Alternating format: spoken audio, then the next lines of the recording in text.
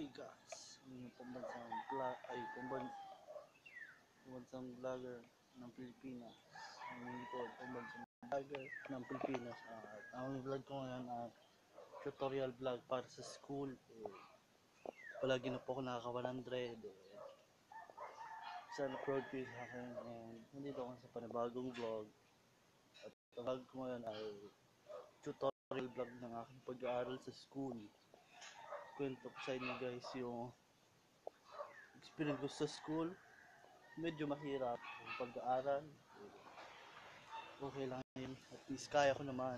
Yun, araw-araw na ako nakakawa nakaka 100 guys. Ganito ko sa bahay ngayon upang mag-vlog at gumawa ng video ngayong araw.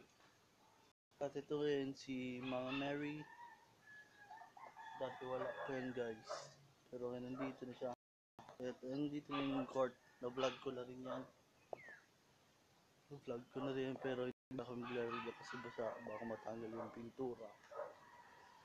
Ito yun naman yung ngayon guys. Sa ko. Ayan guys. At sila sila Butters, Peanut, and si Warp, and si QQ na dun sa baba. Nag-aano sila, naglalaro. Nagpunta na sa panibagong vlog. Ang vlog ko ngayon ay tutorial vlog sa school. Kwento ko yung mga experiences ko sa school. At mamaya mag-workout ako pagkatapos ng aking vlog. At ito na naman tayo sa panibagong vlog ngayong araw. And araw ngayon na araw ngayon na umaga araw ng pagbo-vlog natin ngayon. Kasi alam ko maraming nakakamiss sa akin sa vlog and sa lahat. Yung mga people viewers natin ito na mag-upload na ako. Dito ako nagsimula sa pwestong to. Dito ako gumagawa ng vlog. Kung hindi nyo pa yung napapanood na vlog kung yung dati pa panoorin nyo na. And medyo maulan-ulan dito.